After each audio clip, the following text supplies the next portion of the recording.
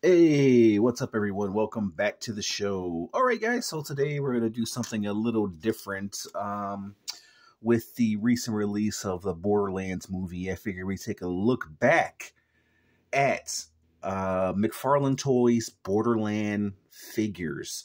Um, now these came out, um, I believe, came out like 2013 when Borderlands first came out, when it was really big. I don't have all the figures. I know I'm missing a few figures, like Zero, which is a, a, a pretty pricey figure.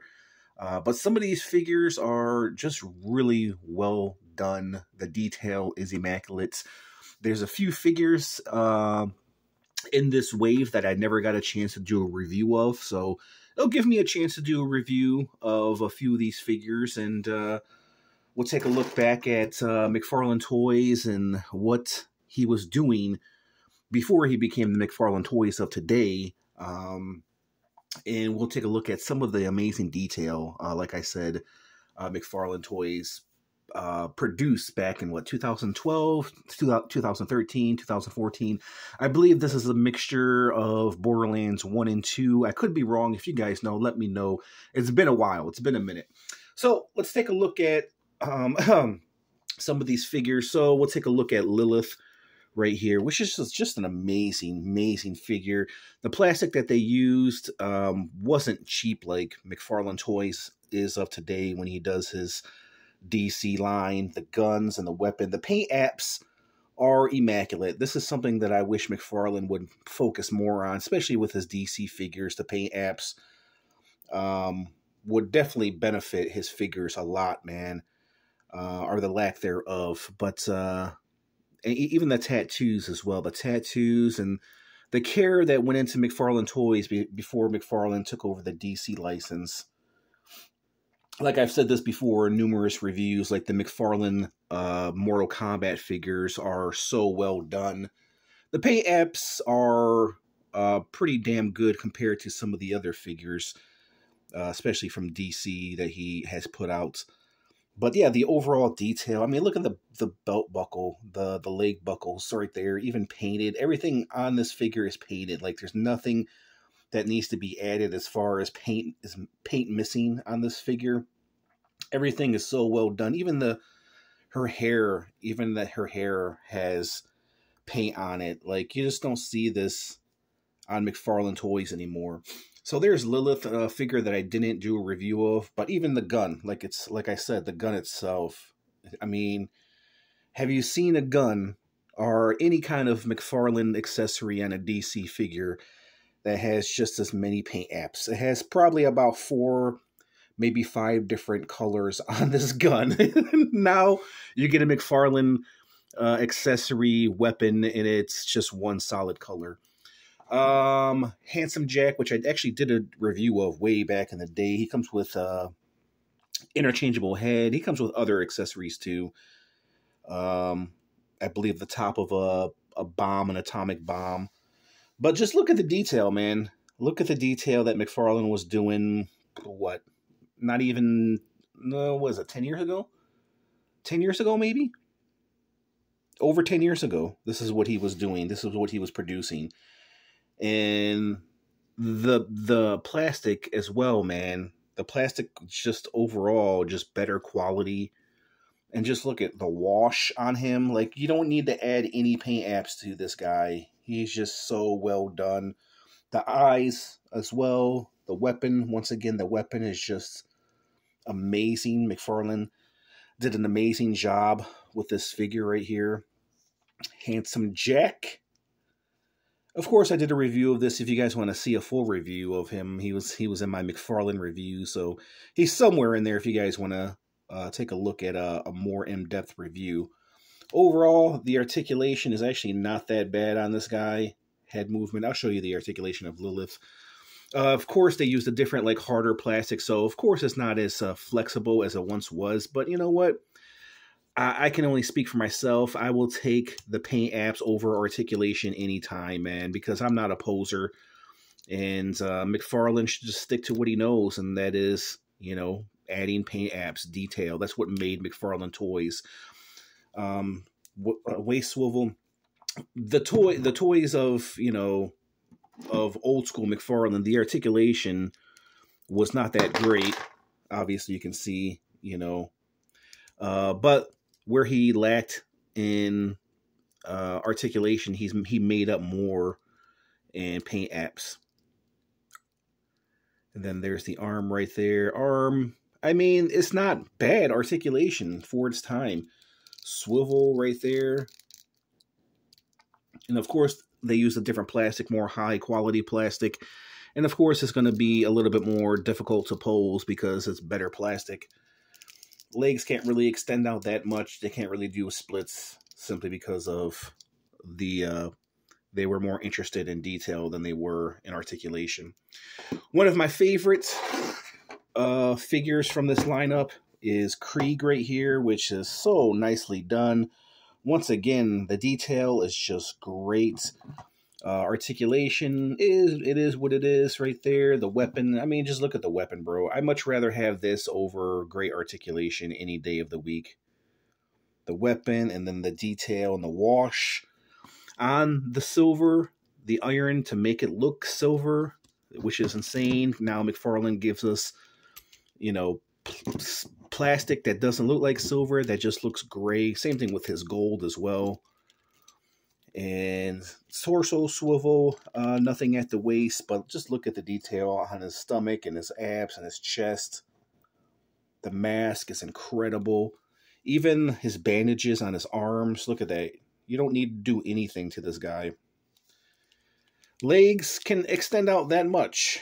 It has that weird diamond select uh, gappage right here. But the detail, once again, is just overshadows anything that McFarlane is producing today, man. The belt buckle, everything is so well done. So well painted. The movie that is released might not be as great, but the figures are pretty damn good. It does have a knee swivel right here as well. Let's see, knee swivel. Yeah, they all swivel, both of the knees. And then there's the back of this guy right here, which I really love.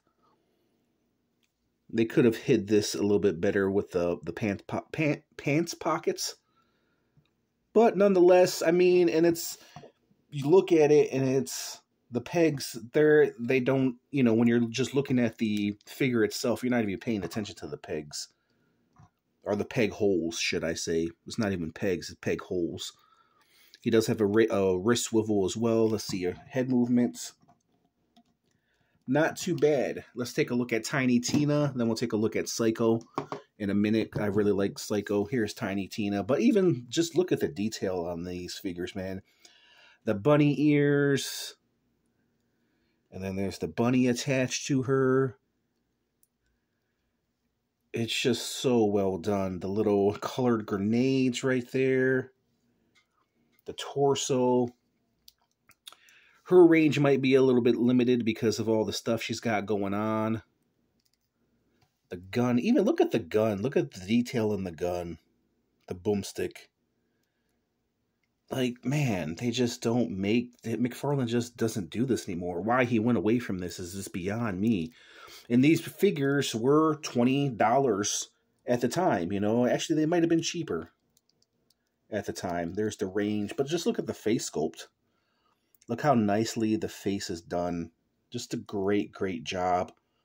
Then there's the belt the dynamite. Then here's the back the backpack. Look at the detail on the backpack. And then her pouch right there, her back fanny pack, the dynamite right there with the with the the bunny on it. Look at that. Can you guys see the detail right there? The bunny in the middle of the dynamite, the timer. The bunny ears are the timer for the dynamite. And then even the bunny is done so nicely, man. I don't think I did a review of uh of Tiny Tina.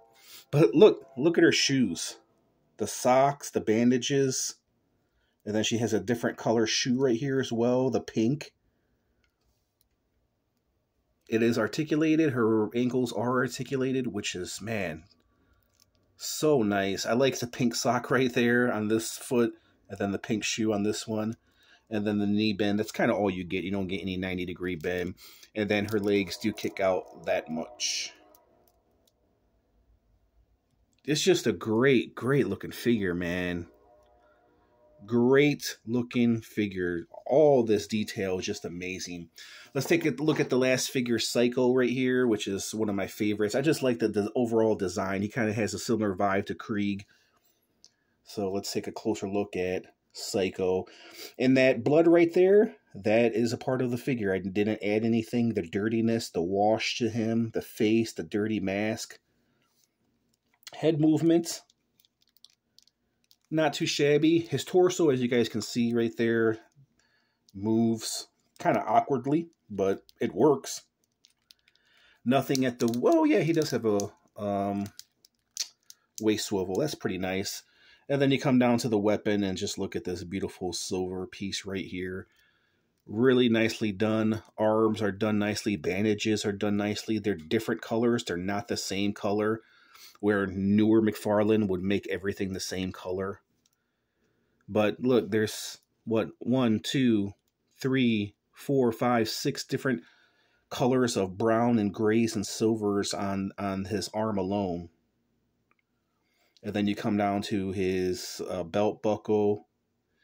Even the belt buckle has detail. It, this is all sculpted on, of course, right here. And then the chain, his latch,